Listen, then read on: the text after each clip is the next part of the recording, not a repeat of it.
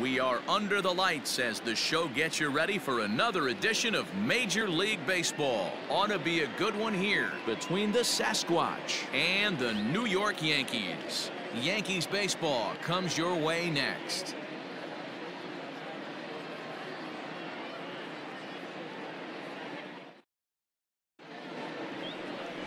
Jordan Montgomery is ready to go as he'll be on the mound for the Yanks. What's your take on him, Dan?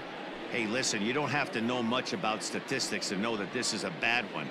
How about this guy on the year as a starting pitcher? Left-handers are hitting over 300 against this guy. He's going to have to change something or he won't be pitching very long in this league. Into the box, Russell Neff. And we are set for baseball here this evening. And as the Yankees get started here tonight, guys, they've had it going the last 10 games. They're 7 and... Oh, hang on now. This ball is crushed into left field. And this one ain't coming back. This ball is gone.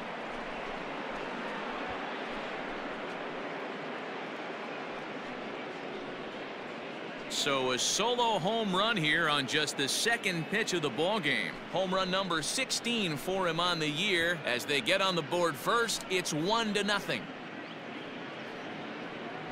This guy has some pop. You can't just lay one in there. What happens? He leads the game off just like that. It's one nothing.